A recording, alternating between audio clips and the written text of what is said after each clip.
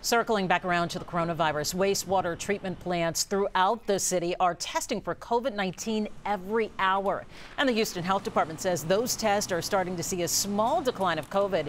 Here's Anayeli Ruiz with some detailed analysis.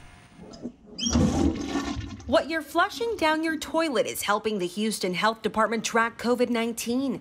See, doctors say that at least 40% of people who have the virus have no symptoms but they can find the virus in human waste. And in fact, the virus is excreted in your feces and in your urine, and we can test the wastewater and to see if it's there. That is why every hour for 24 hours, they collect samples from 38 wastewater treatment plants throughout the city.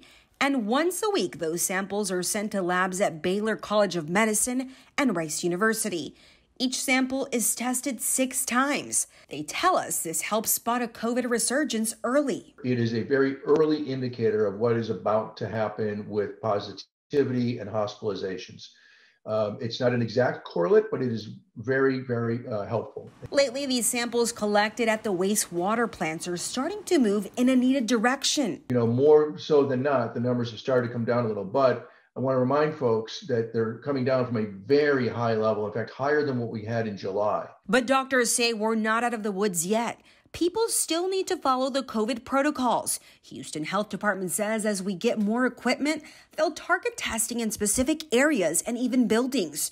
So far, they're also tracking the wastewater coming out of the jails, homeless shelters, and even schools. Anayeli Ruiz, KHOU 11 News.